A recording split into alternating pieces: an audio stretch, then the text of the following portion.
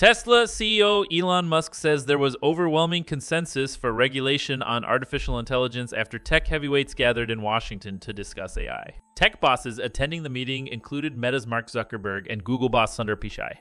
Microsoft's former CEO Bill Gates and Microsoft's current CEO Satya Nadella were also in attendance. The Wednesday meeting with US lawmakers was held behind closed doors. The forum was convened by Senate Majority Leader Chuck Schumer and it included the tech leaders as well as civil rights advocates. The power of artificial intelligence, for both good and bad, has been the subject of keen interest from politicians around the world. In May, Sam Altman, the CEO of OpenAI, the company behind ChatGPT testified before a U.S. Senate committee describing the potential pitfalls of the new technology. ChatGPT and other similar programs can create incredibly human like answers to questions, but can also be wildly inaccurate. I think if this technology goes wrong, it can go quite wrong. We want to be vocal about that, Mr. Altman said.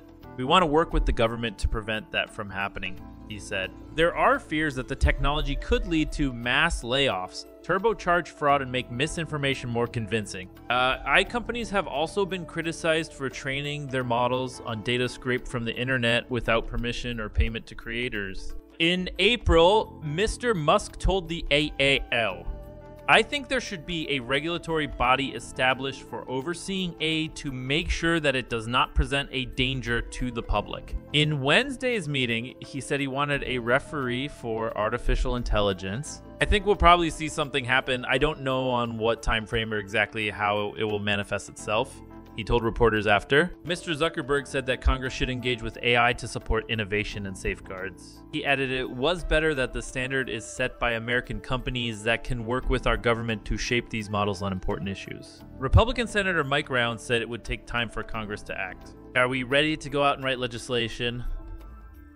Absolutely not, Mr. Rounds said.